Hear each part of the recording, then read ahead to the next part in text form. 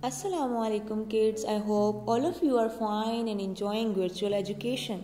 In today's video, we are going to learn about words opposites. Students, do you know that what are opposites? Opposites are pair of words that have different meanings. For example, big, small, happy, sad. Let's watch a few more examples of words opposites. Hot. Cold. Hot and cold. Hot soup. And cold ice cream. Tall. Short. Tall and short Tall giraffe Short rabbit Open. This door is open. Close. This door is closed. Open and close.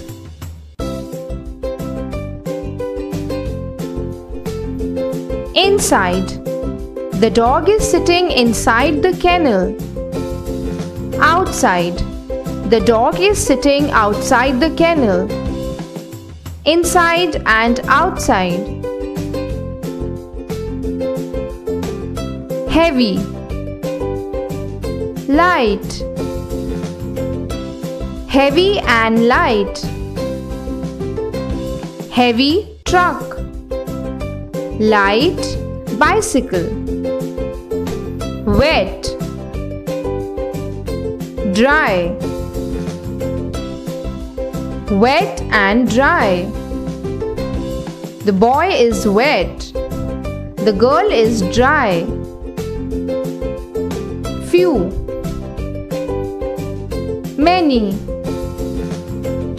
Few and many.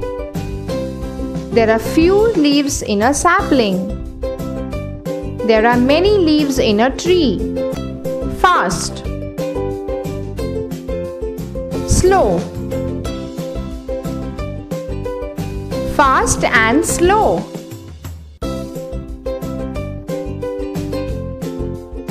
Full, empty, full and empty. This basket is full of apples and this basket is empty. Standing, sitting, standing and sitting. Soft, hard, soft cotton candy, hard rock. Students, now open your targeting grammar topic opposites page 36.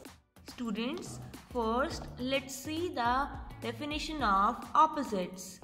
Adjectives can describe people and things in opposite ways like this happy or sad, big or little, tall or short. Students, you have already seen that opposites have different meanings from each other.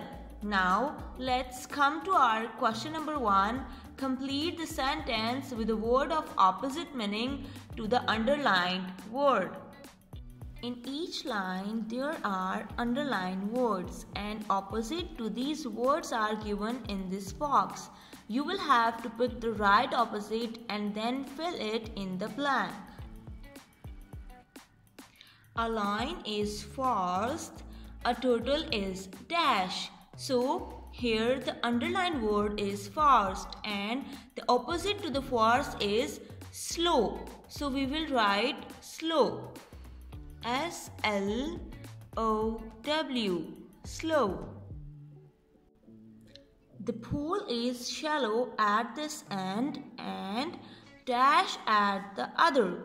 So students shallow means area which is not that deep. So the opposite to the shallow is deep. We will write deep. D double E P deep. My shoes are old. I will buy a dash pair. In this line, the underlined word is old and the opposite to old is new. We will write new. N-E-W, new. An elephant is large. A mouse is dash. In this line, the underlined word is large and the opposite to large is small. So we will write small. Now let's move to our question number 2. Draw these pictures and this question boxes are given and you will have to draw the pictures of opposites in it. A big fish. The opposite of big is little so here you will draw a little fish a big fish and a little fish. A long rope. The opposite of long is short. So here you will draw a short rope. A long rope and a short rope. A happy face. The opposite of happy is sad. So here in this box you will draw a sad face. A happy face and a sad face. A wild animal. The opposite of wild is tame. So here in this box you will draw a tame animal, a wild animal and a tame animal. Now let's move to our question number 3. Circle the two words that are opposite. In the following lines, there are words and their opposites are given. You have to identify them and then circle it. Now, read the first line. My hair was wet, now it is dry. In this sentence, the word is wet and the opposite of wet is dry. So, we will circle wet and dry. Summer is hot, winter is cold. In this line, the word is hot and the opposite of hot is cold. So we will circle these two words, hot and cold. I had dirty hands. Now they are clean. In this line, the word is dirty and the opposite of dirty is clean. So we will circle dirty and clean. The snake was thin. In this line, the word is thin, but there is no opposite of thin is given. So we will circle none.